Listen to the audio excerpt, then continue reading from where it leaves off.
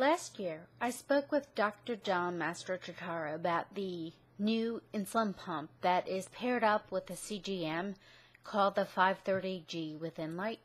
I had to try it. I needed to see what this particular contraption can do for me.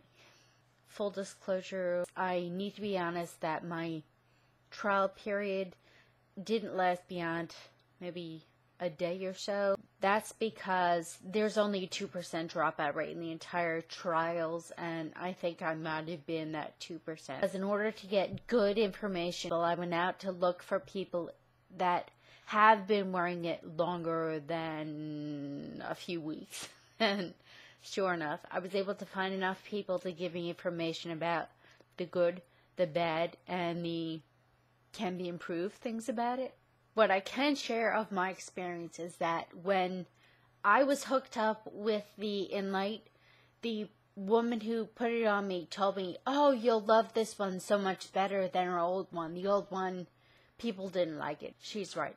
I heard from a few people, people who had worn the first generation Medtronic CGM. It caused bruising. It was inaccurate. They just basically would rather not wear it than wear one and just totally be bothered by by it. Not with the Enlite. Medtronic has cleared up that problem. It's a lot smaller, it's more accurate, and hey, that's always a good thing. As far as the 530G goes, there are less quirks than previous generations of the Medtronic pumps. I wore the Medtronic pump from 1999 to 2009. I was a very happy Medtronic pump wearer. Whatever these little quirks are, they no longer exist in the 530G. It's been cleaned up. Very good. The battery life is longer. The AAA battery that goes into the Medtronic pump lasts longer. Yay! Okay, some of the things that can still be worked on.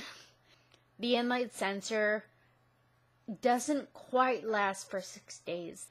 Around day five, five and a half, the accuracy begins to dwindle on the CGM.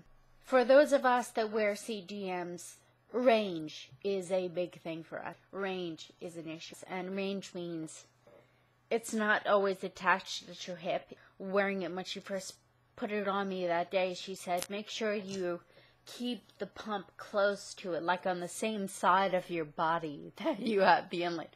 I was like, really? Okay, fine. It is the insulin pump, so obviously it has to be close. If you are familiar with the Medtronic pumps, your CGM screen is your insulin pump screen. If you have eagle eyes, it's good for you. but if you use the magnifying app on your phones, you might need to be using that this time around.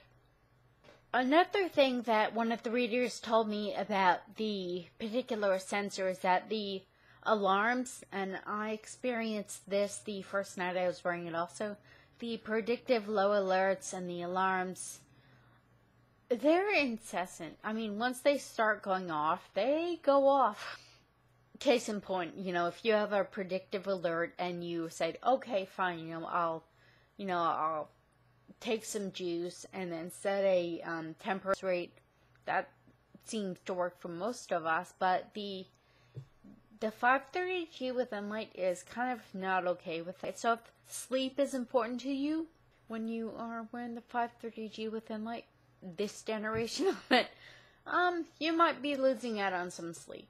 Just saying.